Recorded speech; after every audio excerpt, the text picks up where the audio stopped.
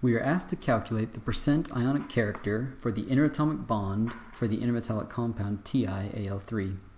In part B, this is based on the result of part A, to now determine what type of interatomic bonding we might expect to be found in TiAl3. To begin this question, we refer to the equation for percent ionic character found in the chapter. Percent ionic character is given here.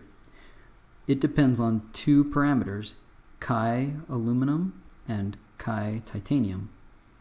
These are the electronegativities for aluminum and titanium, respectively, and the values can be found in the periodic table showing electronegativities in the chapter in the book. When we look them up, we find that they are each equal to 1.5. So let's rewrite our expression. 1 minus the exponential of negative 1 fourth multiplied by 1.5 minus 1.5 quantity squared times 100%. Well, this whole quantity is now equal to 0.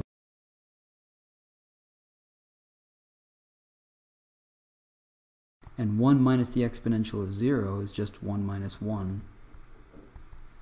So we have 1 minus 1, which is 0, times 100%, means that we have no percent ionic character in this bond.